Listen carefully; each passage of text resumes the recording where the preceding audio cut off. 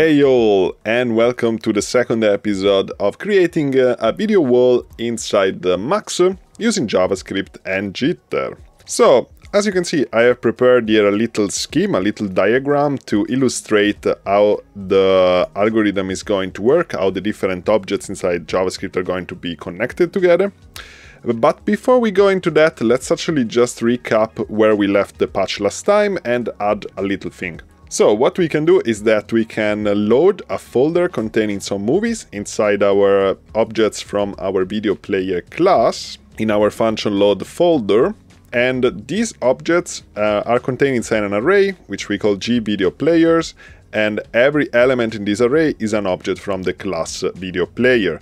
So what we do is simply to load one of the movies from the folder inside an instance of the video player class, which what it does is simply to read this uh, movie inside a movie player, uh, inside a JIT movie object, and then we got a video plane that is simply uh, basically represented as a square on our rendering window.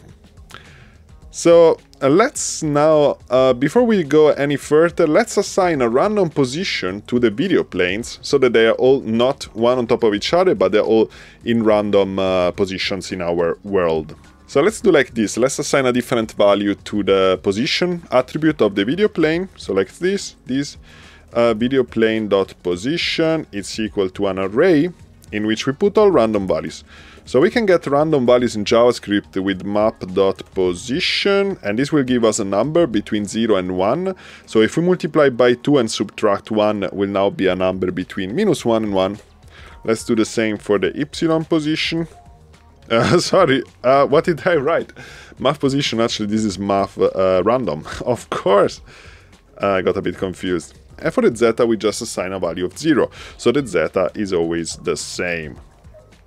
Cool, if I now save here and I save the main file, and I now uh, recreate, refill the array basically with the objects, exactly we can see that uh, the objects are scattered all around the place in our rendering window, so our video planes. Now let's get to our diagram and see uh, how we can actually render the videos inside those video planes. So first of all, we don't want to render them directly inside our rendering window, we want to render them inside the node um, which will which we will pass the texture to a GGL video plane. So this is like a, like a GUI, right? Like a graphic user interface. So imagine like in a video game. Maybe you have your life um, amount or the map or some stuff like this, and this doesn't interact with the camera of the world. It's always in a fixed place. So as well, we don't want that this uh, that this uh, video wall interacts with the camera we put in our world, we want it to be like a plane that is always fixed there, like a graphical user interface, basically. So we don't want it to be subject to the camera of the world. We want it to have its own camera and be in its own context, so we're going to render all this stuff inside a GGL node, uh, which is going to output the texture to this video plane, which is always going to be at the same place. We can, for example, attach it to the leftmost side of our window.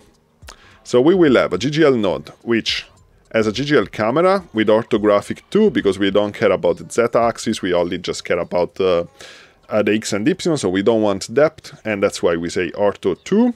So this camera draws to GGL node.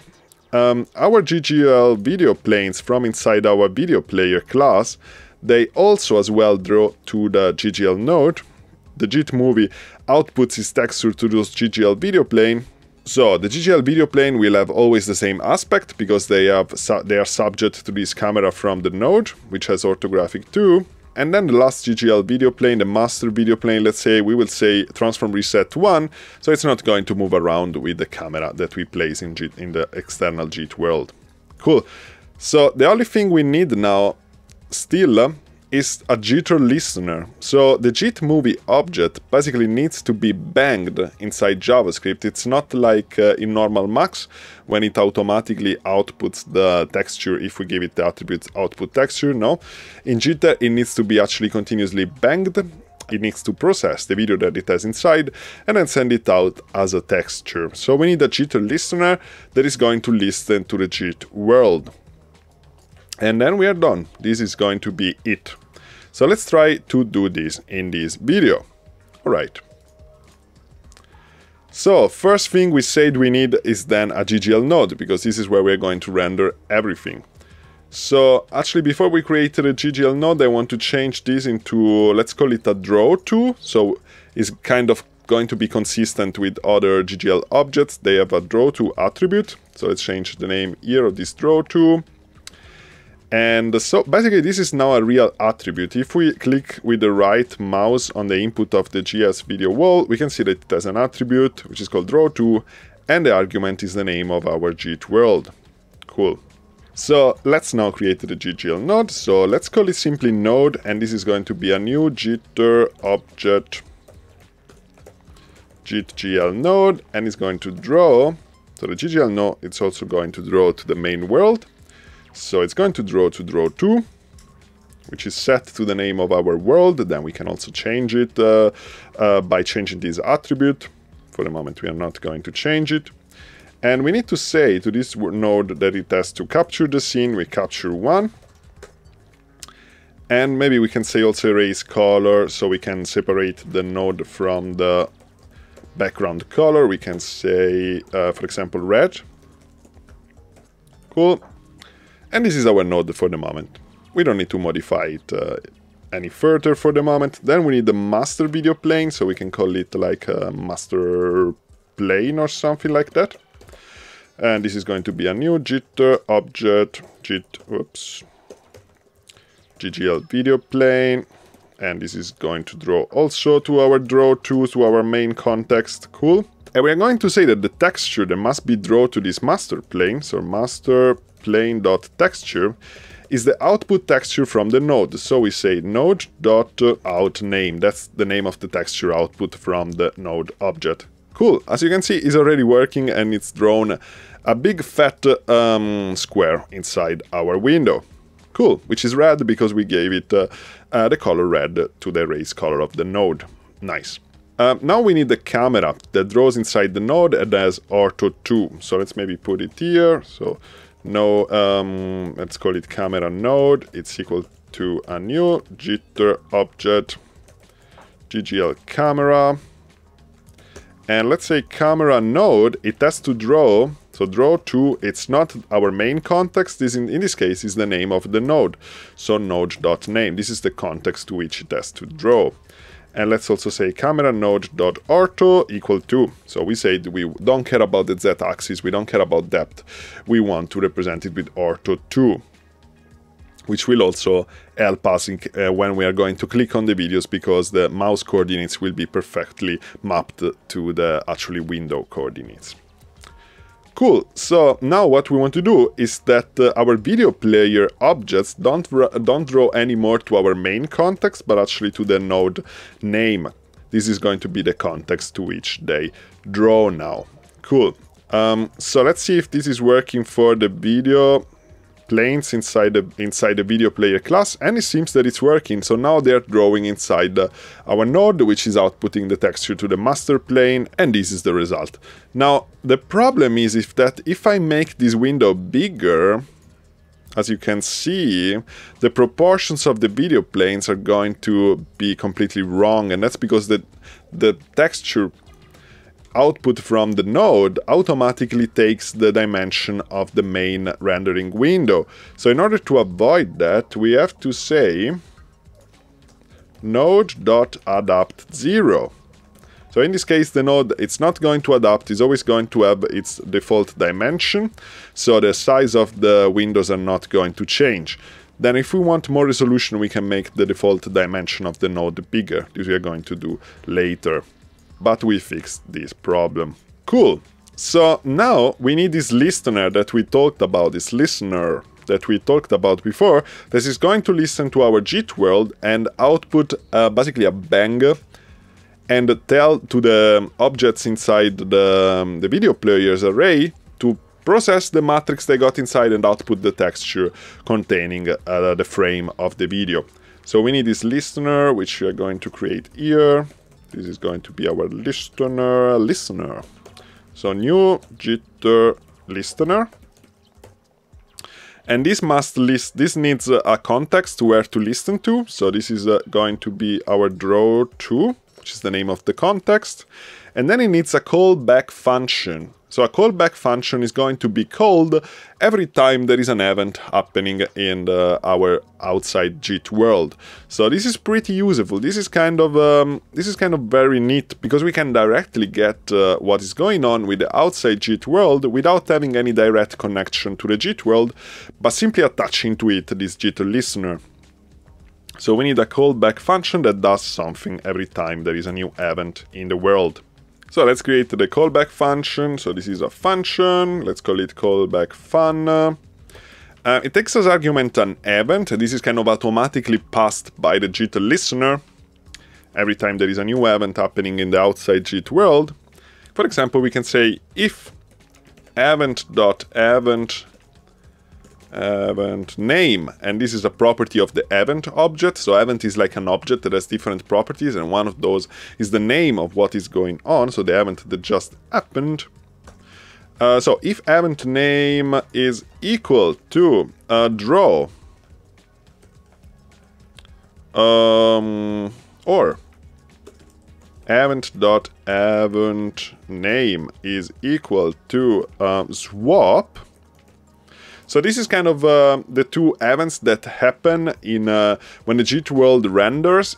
It actually happens the swap event, but uh, if it will be a node, the context to which we are attaching the callback, the, the listener, then it will give us the draw event. So just to cover both possibilities, I'm saying uh, both cases. So if it's equal to draw or swap, this basically means that the main world is rendering or a node that we attach to it is rendering. So in this place, we now have to send the kind of the bang to the JIT movie inside the, the video player class to tell them to actually render the frame, the current frame of the video they loaded. So let's do like this for var uh, player in video, no, how we call our array, g video players. So for every player inside this array, we're going to say g video players player. So we say, okay, this this player here inside this array, and then we can say play movie, for example. Something like this. And this function doesn't exist, we have to create it inside our class. So let's go inside our video player class uh, and let's create this function. So this uh, play movie, it's equal to function, so we assign a new property to our video player object, which is a play movie. And basically it works like this. So this movie player dot matrix calc. This is how we can play a frame uh, of a movie inside JavaScript. Uh, matrix calc this, uh, and we have to create a dummy matrix uh, that allows the movie to kind of read the current frame. So let's actually create this dummy matrix. So this dummy mat is equal to a new jitter matrix uh, with four planes, type char, and we can also give it dimension 1, 1. It doesn't really matter. That's actually an array. It doesn't really matter.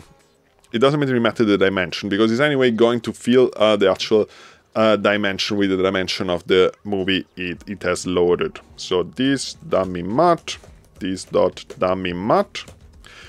So now it loaded the frame. Now we, we need to output this uh, its texture uh, to the video plane inside the object.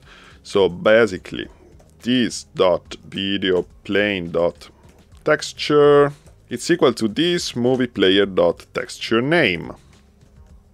This attribute contains the name of the texture currently loaded uh, inside the, the JIT movie object, and we are going to set the value of the texture of the video plane to that texture.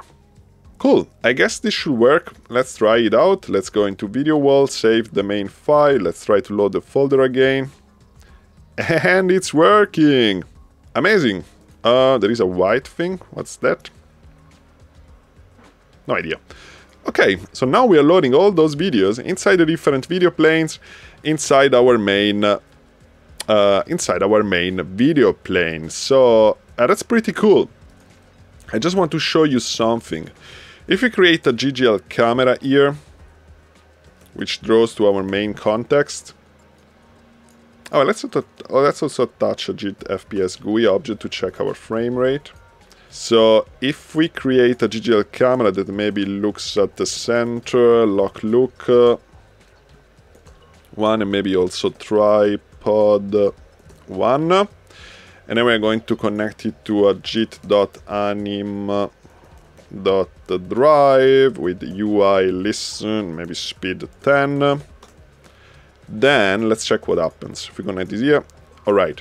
So we can see that actually the video plane is moving, which this is not what we wanted, right? We wanted to have it always uh, that this video plane is not uh, uh, touched by what's going on in the in the main world. So in order to do that, we can simply go here inside our main file and say master plane.transform reset equal to 1. So if we say equal to 1, it's basically not going to be affected by the camera. So now I'm moving around with the WASD keys and it's not affecting the, the video plane. We can, for example, then uh, rescale it, also make it a bit smaller. Plane.scale, for example, 0.7 or something. And now it's a bit smaller. And then our objective is to kind of draw it somewhere inside our window where it doesn't disturb. We can also activate it and deactivate it. Uh, um, and we are going to place the movies also in a grid, not just in a random position. So then in the end will be something that we can really use in a real world scenario. Cool. So this is it for this video. Um, I hope this was not too confusing. The main thing to bring home, I will say, is the listener, the callback function that basically every time the JIT world sends out a bang, it's going to tell the movie to render the current frame. And in the video player, uh, the cool thing is that we saw how we can uh, load a new frame inside the JIT movie object using the matrix calc method and a dummy matrix, and then outputting the texture uh, where we want, in this case, to a video plane inside the, uh, our video player object. Cool. Hope this makes sense. Uh, hope this was clear. It's of course not for JavaScript complete beginners. This is uh, this is clear, but uh, I hope that for everybody that uh, knows a bit of JavaScript, this is going to be interesting and is going to allow to explore a bit more of the possibilities offered by JavaScript in Max, especially with Jitter. So, uh, thank you very much for following, patch download uh, on my Patreon, and uh, see you soon in the next video. Ciao!